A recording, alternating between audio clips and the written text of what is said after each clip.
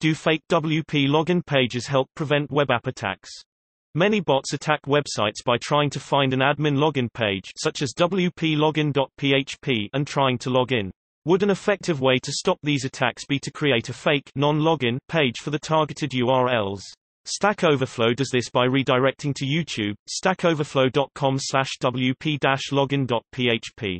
It is not an effective way to stop bots. Bots will register that link as providing a response. They will not give up because the end result is not what they expected.